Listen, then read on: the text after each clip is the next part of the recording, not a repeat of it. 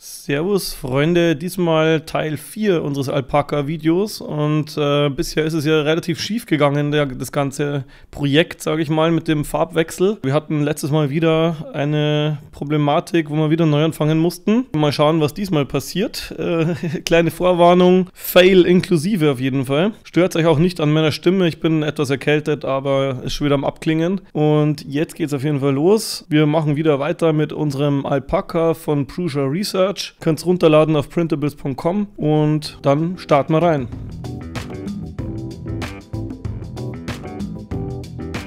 Also schaut es euch an, so schaut es aus und passt jetzt bloß auf, dass ihr nicht einen Fehler macht und den Schlitten bewegen wollt oder das Druckbett vorziehen, weil ihr das besser anschauen könnt oder so.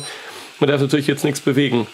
Jetzt haben wir schon mal ein rotes Filament, das ist das nächste, was wir einspannen ähm, was Filament Unload successful. Also war es Filament raustun erfolgreich. Yo. Jetzt sollen wir das Filament einstecken. Machen wir doch. Und reindrücke. So. Haut unten einen Schwung raus. Jetzt fragt er mich, ist Color correct? Ja, eigentlich ist die Color, also die Farbe, noch nicht. Aber jetzt schon langsam würde ich sagen, yes. Und?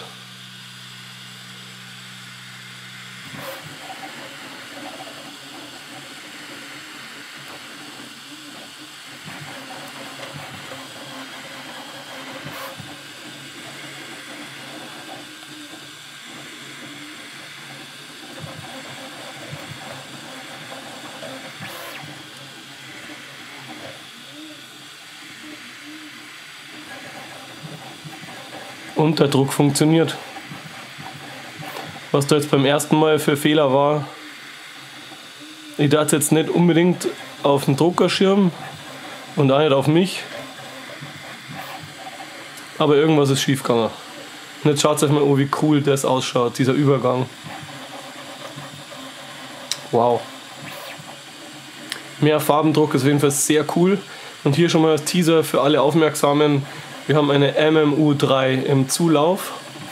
Wir haben sie in den ersten weiß ich nicht, 20 Minuten bestellt, nachdem die Info-Mail kam. MMU3 für MK4. Wir sind gespannt. Das schaut schon sehr cool aus, zwei Farbendruck. Das ist auch wieder Next Level Printing, einfach weil das einfach so mega gut ausschaut.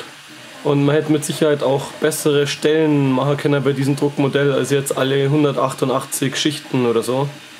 Wir werden beim Kopf wahrscheinlich auch den kompletten Kopf in einer Farbe machen, weil wenn der in der Mitte plötzlich einen Farbwechsel hat, dann schaut es wie ein Kopf durchgeschnitten aus. Deswegen faked man dann einen Farbwechsel bei der Hälfte. Wir haben das Modell jetzt ja gedruckt, das heißt, er möchte in der Mitte vom Kopf natürlich wechseln und äh, da geben wir ihm einfach die gleiche Farbe wieder dann.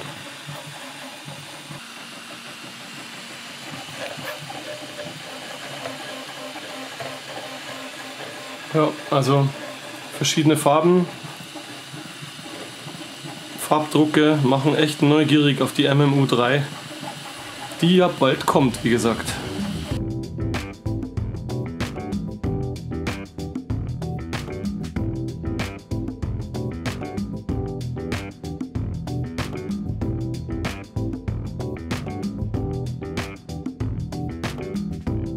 Leute! Schaut es euch an. Das ist mein allererster Spaghetti-Druck. Den hatte ich beim MK3 noch nie. Und selbst jetzt glaube ich, ist der Drucker nicht mal schuld. Ich hatte Over-Extrusion bei erweitert eingestellt. Statt 0,45, 0,55 beim Infill. Und schaut es euch an, wie es ausschaut. Es liegt einfach da.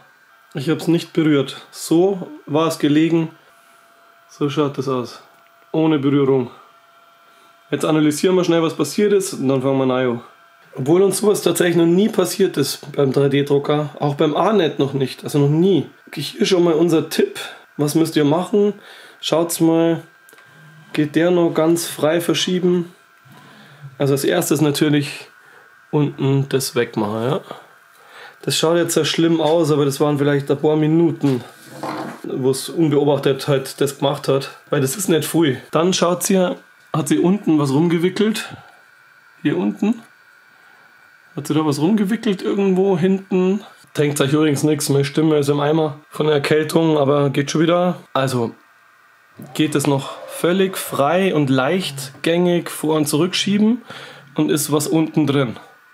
Und zwar auf der Seite, dann ganz vor und auf der Seite nochmal schauen. Also dann geht sie hinter den Drucker, schaut von hinten rein. Ist da drin alles in Ordnung? Nichts drin verwurstelt? Ist der Druckerschlitten vor allem an der Unterseite? Hängt da irgendwas vom Restfilament nur dort? Weil das ja Horst, das pappt irgendwann hier. Wir haben Glück, es hat sie nichts an der Nossel hingepappt oder so. Also tatsächlich halt von alle Seiten genau prüfen. Und das Druckbett. Hat es irgendeine Macke? Hat es irgendwie, ist es verschoben? Ist es verschoben? Nein, es ist alles bei uns. Schaut alles ganz normal aus. Ist es irgendwie locker worden? Ist es locker worden? Nee. Ist der Druckkopf irgendwie seitlich verschiebbar? Natürlich alles nur mit Gefühl. Das ist ja normal. Aber ich schaue, ob er auf den Schienen nimmer parallel drauf läuft oder so, weil es irgendwie verschoben hat. Nein, alles gut. Also Drucker, check, Hackel, würde ich mal sagen. Und jetzt wird es ganz interessant.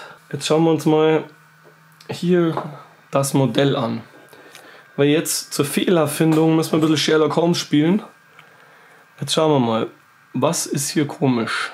Also er hat mittendrin so einen komischen Faden gezogen und hier hört er auf. Hier ist das Ding weggebrochen.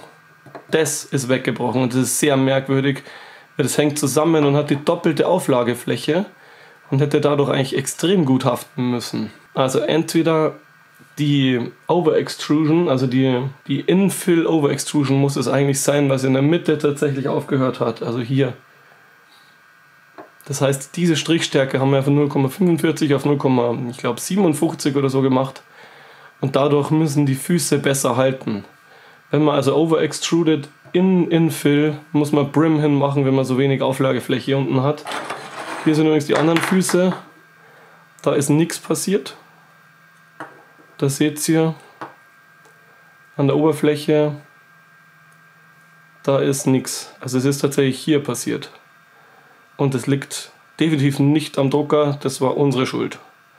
Wir waren ein bisschen zu blauäugig, aber wir wollten ausprobieren, lernen wie immer und haben jetzt auch gelernt. Und jetzt äh, drucken wir es heute nochmal. Dritter Versuch. Hier noch Close-Up-Ansicht.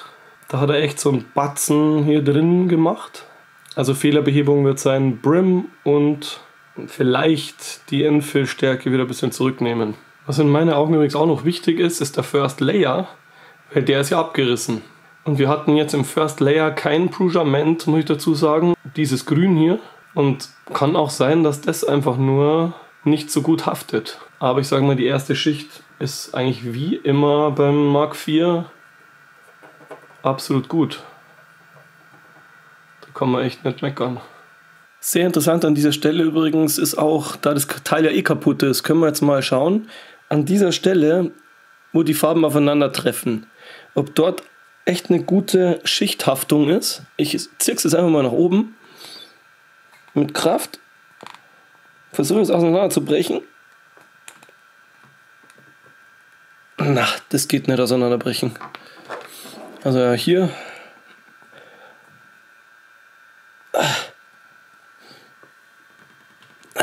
Ne. Also die Haftung der Schichten ist cool. Und auch die Druckqualität von der Schicht, also von dem Übergang, ist echt cool. Und zwar hier merkt überhaupt nichts von dem Farbübergang. Das ist so, als wäre es einfach nur plötzlich eine andere Farbe und das gleiche Filament. Das ist übrigens beides PLA. Man darf natürlich nur die gleichen Materialien aufeinander drucken. PLA zu PLA. Und nicht plötzlich mit irgendwas anderem weitermachen, das geht natürlich nicht. Das druckt, das haftet nicht aufeinander dann. Damit vielen Dank fürs Zuschauen. Seid schon mal gespannt auf den nächsten Teil. Wir geben nämlich nicht auf, bis dieses Ding multicolor gedruckt ist, dieses Alpaka. Und damit wünsche ich mir ein Like und ein Subscribe und euch eine schöne Zeit. Servus.